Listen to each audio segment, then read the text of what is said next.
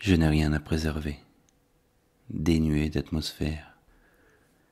Je n'ai, je crois, que des choses à trouver, à découvrir, à intégrer. L'équilibre, j'ai jamais connu.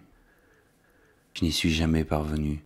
Il n'était pas dans mes amours, il n'était pas dans mes sommets, il n'était pas dans mes déserts, pas plus que dans les torrents des vallées. Aussi est-il facile pour moi de me jeter en toi, de savourer ma peur, la crainte de te perdre, l'effroi?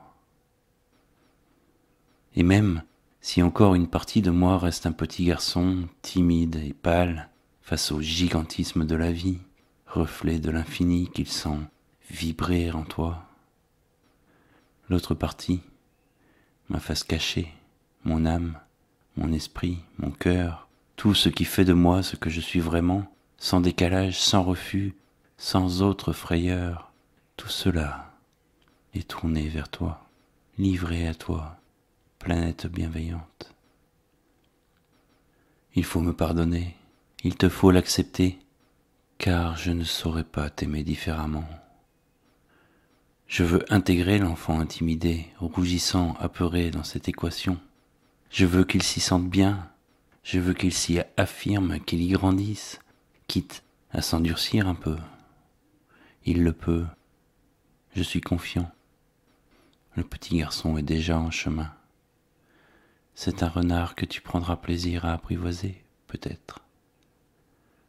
Alors, mon amour aura abattu sa dernière carte sur le tapis des jours, des nuits, de l'univers, sa dernière montagne, sa dernière frontière. La franchiras-tu La franchirons-nous?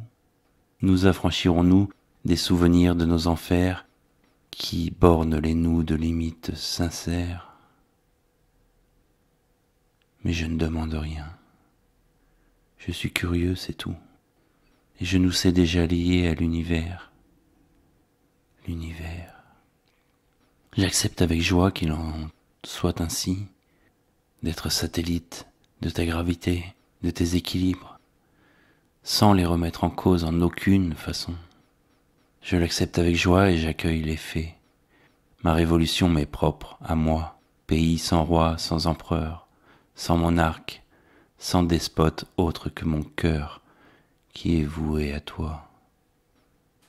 Si être satellite de toi, belle planète, qui lentement a bâti son écosystème stable, si être satellite me permet de faire partie de ton tout, de ton système solaire, de ton univers, alors je serai lune, je serai ta lune.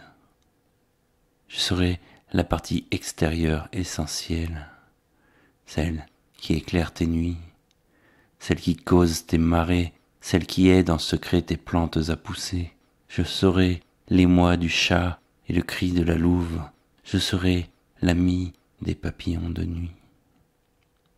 Je serai presque invisible à la lumière des jours, mais serai encore là, force aimante et discrète que tu ressentiras, même quand tu ne la vois pas.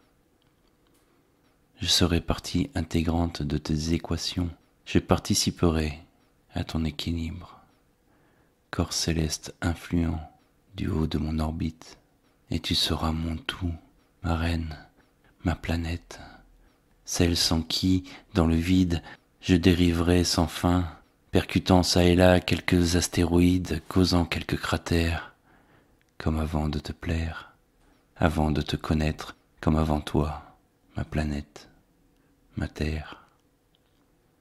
Et la lune sans fin, attirée par la terre, sans collision, jamais, sans causer de désastre, trouvera son équilibre entre toi et le reste.